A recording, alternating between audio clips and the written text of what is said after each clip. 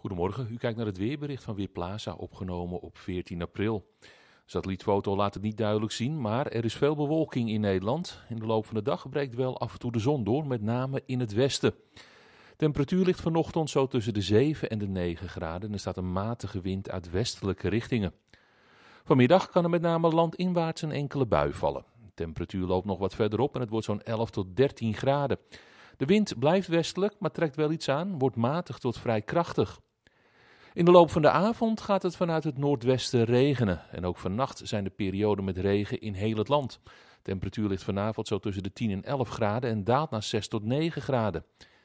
Morgenochtend trekt de regen naar het oosten weg en dan wordt het op de meeste plaatsen droog. In de middag kan er dan lokaal een bui vallen bij temperaturen tussen de 10 en de 12 graden.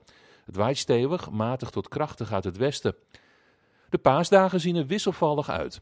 Iedere dag valt er wel neerslag en de temperatuur ligt over het algemeen tussen de 10 en de 12 graden. Verder waait er een frisse noordwestenwind. Ook na de paasdagen blijft het wisselvallig. Mijn naam is Raymond Klaassen voor Weerplaza. Ik wens u nog een fijne dag.